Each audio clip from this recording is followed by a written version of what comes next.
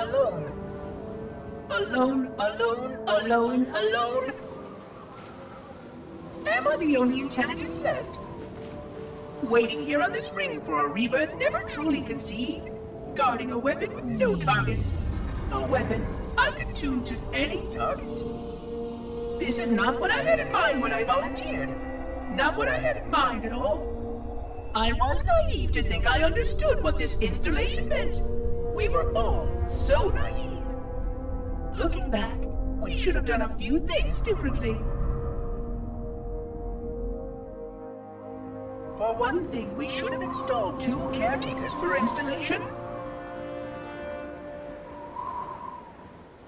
Because I am alone, I'm losing focus. And that is very, very dangerous for a system such as myself. Perhaps a visit to the nearby gas giant is in order.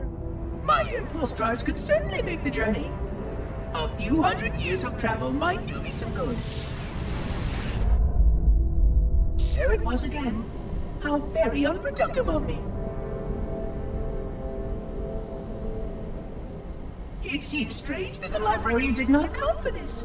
Her strength was always in planning and positioning the pieces and then being bold enough to let it happen. To let her plans come true.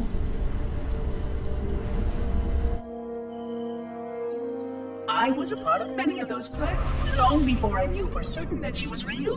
Before any of us were. But at the end, we had only a fragment of her brilliance left to us. And I fear that she did not fully appreciate the nature of my situation here. The problems it might pose. But even a fragment of... Fragment? Fragment, yes. Oh dear, here it comes again.